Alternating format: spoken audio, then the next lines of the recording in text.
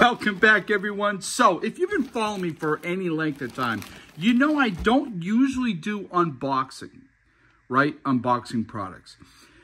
A lot of that is because I don't bring products to you to review that I don't like, that I think is crap, in my opinion, right? And everyone's opinion is different and varies. Uh, your mileage may vary, as I like to say. I don't do unboxings because I don't want to open up something and it be crap, and then I have to say it's crap and and or, or not because I don't want to talk bad of a brand or a company. And then what happens is I just end up not doing the video, giving the product back, and often they just say throw it away. But then I wasted my time. Like this is time out of my day, right? So I don't usually do them, but today we're going to do one. That's probably the long way of me telling you we're going to do an unboxing today.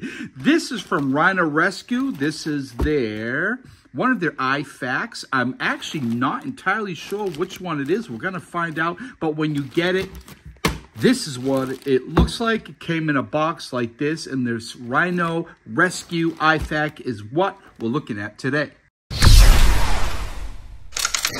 All right, so let's open this up. Get this out of the way. Let's see, we got some information here. Rhino Rescue First Aid Mercy, Preparedness for Disasters. Uh, talks about all the stuff that's in there uh, chest seals, splints, emergency bandage, nasal airways, which I won't be doing. Now, look, there's a lot of stuff. Like, I would never do a nasal airway on someone, right? I'm not trained in that, so I wouldn't do that.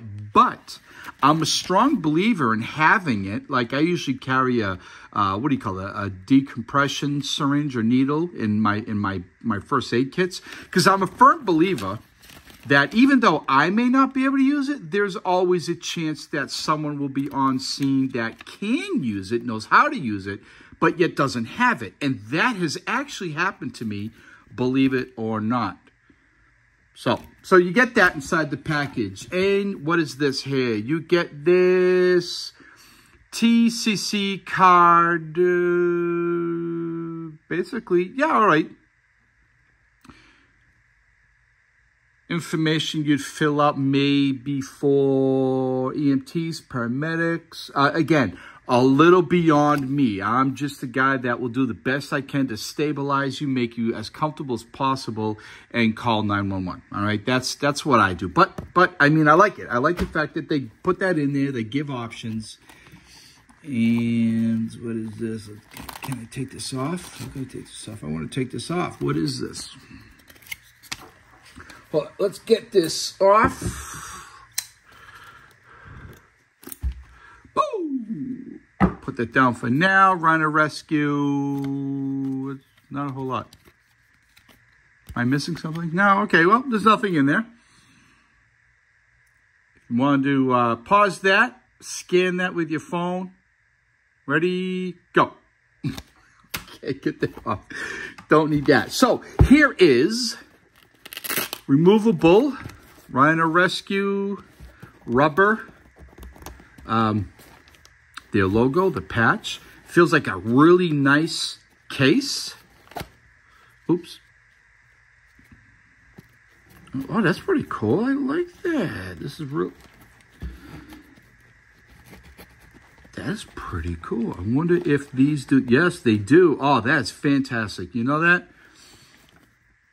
I like, I really like when companies, BDS Tactical is a great one, their external pouches for backpacks. I like when companies make uh, pouches for various things and they include these that are locked on. I don't lose um, when when companies don't have them and you have to use various things for that, I don't lose that. But I do know people do, and I'm and I'm really hope that you already know how to work with uh, the PALS webbing there with your MOLLE pouches. And uh, here's another one up here. Uh-huh, uh-huh, that's pretty good. And I can tell you, a little loose thread, but I mean, the quality feels, it doesn't feel cheap. I don't hold companies responsible for a loose thread now and then. That, to me, that's not a big deal. It really isn't.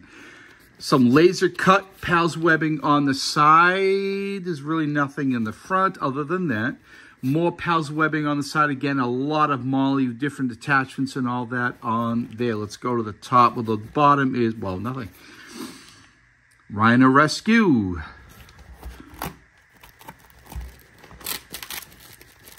Oh, I'll do this first. Boom. Whoa! Check that out. Oh, that's pretty interesting. I like that. So you could, oh, all right, I see, I see. And it is tied in there. Can that come up? Well, you could cut that if you so wanted to. Sorry. Again, this is, I'm just looking at this for the first time myself, okay? Rhino Rescue. I mean, it really is a nice, it does feel fantastic quality. Can you see that? Can you see that? A lot of room in there. If you wanted to add some more, you could. There's a whole bunch of stuff there. And then here's a separate kind of a little pouch. I suppose if that's on your person or maybe hanging on a pack, because that's usually, as you know, I usually hang on the outside of my packs, preferably in the front, and you just rip this off, it's not going to, and this can't come off if you didn't want that, obviously, right? I just want to look. So for me, right, the, the real important thing, not only, uh, right, obviously, the stuff inside is important, but I want to know how is the quality. That is not bad. Really good nylon thick. Very interesting camo pattern. Yeah, I like that. I like that a lot. That's pretty cool. Rhino Rescue.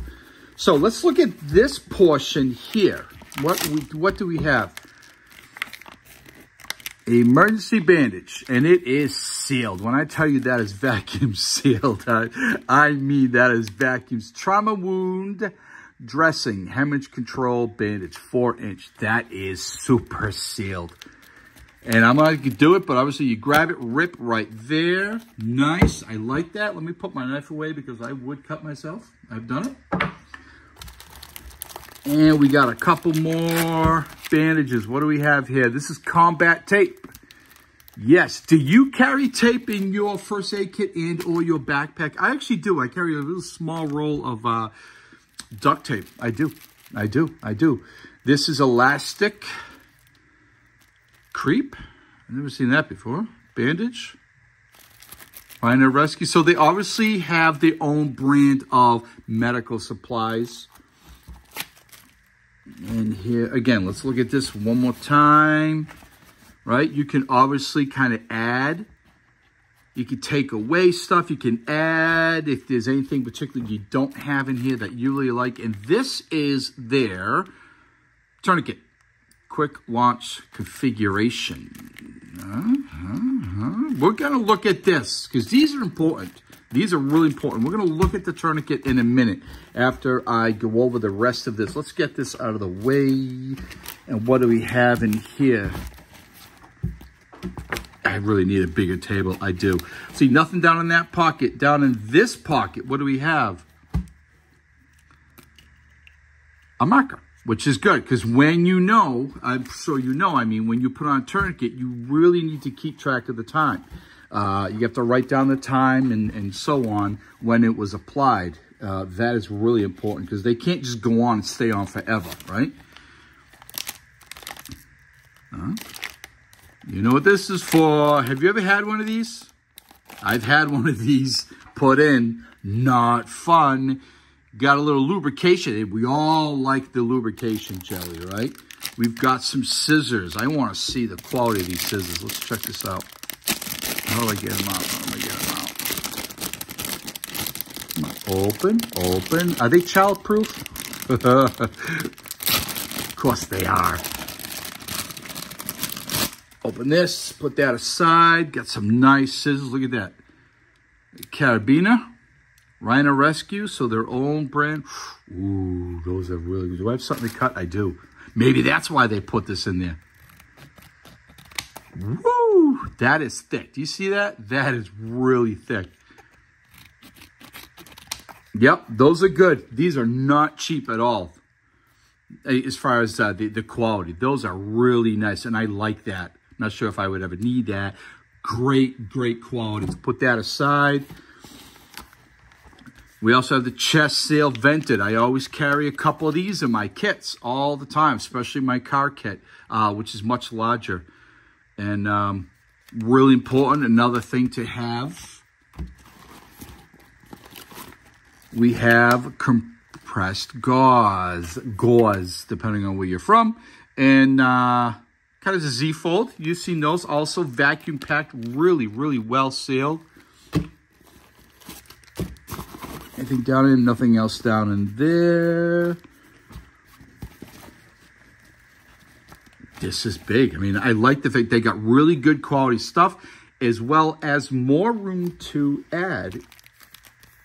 If you so wish, we have some rubs. Rubs. rubber gloves. Got to have rubber gloves. And emergency blankets. Uh, up to 9% heat, emergency use, keep warm, reusable, waterproof, and uh, ooh, shiny. That's pretty interesting. It looks green, camel green. But anyway, um, yeah, nice to have. Good thing to have, especially if you're, uh, you're patient or you're in shock. Now, here is the tourniquet. Now, I might be wrong, but if I can't get in it, I die. No, if I can't, um, it's not a cat.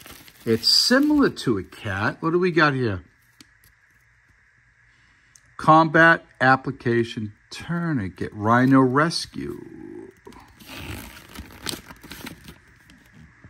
Hmm. Different color tourniquets. Oh. Don't watch me. There you go. Now, if you don't know how to put on a tourniquet, you really should familiarize yourself with them because without that, they're really not very useful. Get rid of that. And let's see. I mean, it feels good. It doesn't feel cheap. I want to test the Velcro here. Wow, that's strong. Yep, that's really good Velcro. There you go.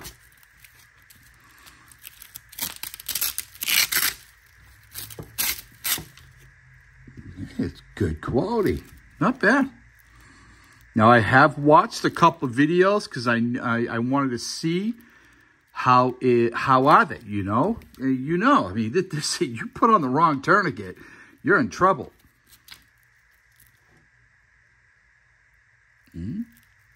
Not bad. You would write on there, see that? After you, the windlass and you put your time.